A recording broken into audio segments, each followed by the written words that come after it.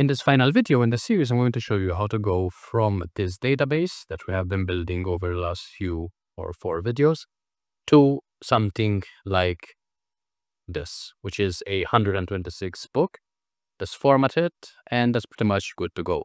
You could obviously go in, make some changes, add images, add a cover picture, add a table of contents, but for all intents and purposes, this book is like 90 to 95% done.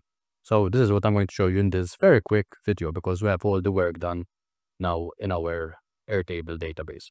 So over the last videos, we've gone from a or from looking at Reddit to get information about books that people might be interested in based on the comments that they have left on a thread, which looked something like this. So we came up with these different book titles with the button called write book. When a person pressed that button, they would end up with something like this, where we got the chapter names for that specific book. And we also wrote the chapter outlines for each of these chapters. So that was the second video. In the third video, we looked at the chapter details right here. So we went from the chapter outline to creating the fully fledged chapters one by one. Then in the last video, we went from the chapter details. Let, let me open this up in the full view. So we went from the chapter details, which is this right here, which is one long string of text. And we went and created this HTML content. So we are now able to format this as we want. So in this video, we're just going to take this form of text and essentially create this document that you see right here. Now the thing is that we've been using N8N for this type of creation, for this type of book creation. When it comes to creating Google Docs, N8N struggles a bit when it comes to creating HTML formatted documents. You can create text-based documents, but it is difficult as far as I've found to create HTML content which is why for this last video, I'm going to revert to make.com, which is my favorite no-code platform. And it is the, let's say, the platform that I started working with many months ago. So this is why I'm going to revert back to this platform. And in order to make this happen, essentially what I'm going to do is go to my make.com account here. I'm just going to duplicate this and create a new workflow. And as you can see here, it is a very simple type of workflow. There are just three modules involved in it, and all this takes is we're looking at Airtable, we're combining all the documents or the text together, and then we're creating the Google document in HTML format. So pretty straightforward, pretty easy to figure out, and yeah, let's just create that. So we're going to Airtable, we're going to search for records, and obviously you can always call this through a webhook. So if you want this to be like one step that starts from the beginning and keeps going until you get that final PDF, just by you pressing that button that I showed you right here, you can also do that. So this make.com scenario can be called through a webhook. So that's kind of the ultimate automation type of situation. So I'm just going to choose my base, which is my N8N book YouTube. Then I'm going to put in these settings. So I'm going to choose my table. So this is the book I'm working with. I'm going to grab all the information here. For the formula, I'm just going to leave that empty. What is important here is that we're going to sort what we're going to get. So we're going to sort based on the field, which is called chapter name, and we're going to go in ascending order.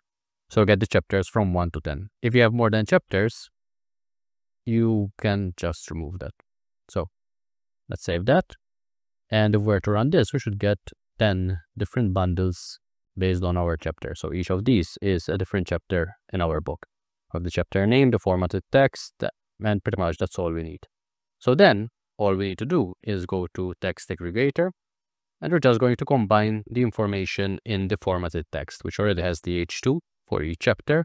And yeah, that's pretty much it. So if we combine that, that should give us a long S type of string output, which is all the contents of the book combined together.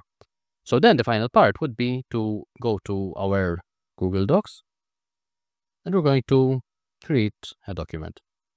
We choose our connection, we give the book a name, which in our case will be from, uh, so this should be Oh yeah, because this can't be accessed here. So pretty uh, different ways how you could do this. So let's say that we have this information right here, right? We have the table name. What we don't have here is the table. Uh, so we have the table ID, we don't have the table name. So we could technically add a module here called Airtable uh, records, others. Yeah, probably would need to use the make an API call and we'd get the table name for the specific table matching that ID. So it is one step we could do. In my case, I'm just going to keep it simple. I'm just going to hard code the name from here. And I'm just going to paste in the content right there. I'm going to choose the location. So I'm just going to put this slash so it's in the root directly. And that should be pretty much it. So over here, this should give us the whole book in Google Doc format. So let's run this. And in a few seconds, we should get a web view link, which we can now use. So we get the web view link here. And let's open this up and look at what we have. So we have the whole book here with the table of contents on the left. We have 47,000 words, 88 pages. So I can just very quickly format that.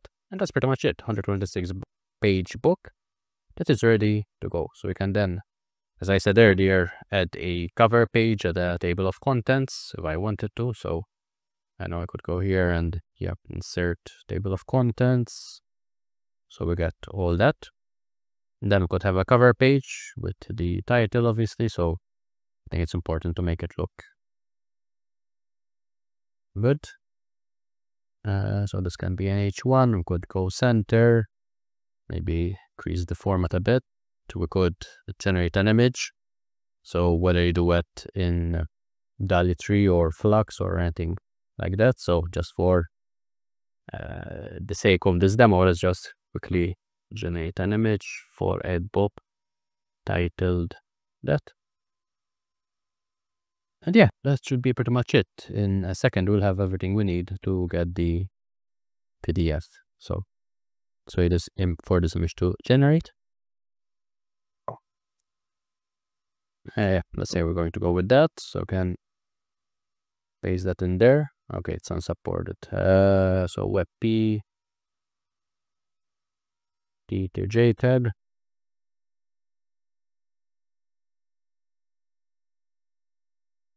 So let's download that there. Convert to JPG. So if I just copy this, go here and paste that in,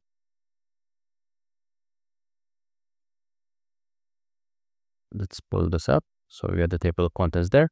Yeah, that's pretty much it. So now I can just file download this as a PDF. And to go, 130 pages. We could obviously add an image for each chapter, but yeah, that's pretty much it in terms of creating a book through a sequence of automations that we have been following step by step until we get to this final output PDF that we see right here. So let me know if you have any questions based on this series. Let me know if you find it useful. In the meantime, don't forget to hit like and subscribe so you don't miss any future videos.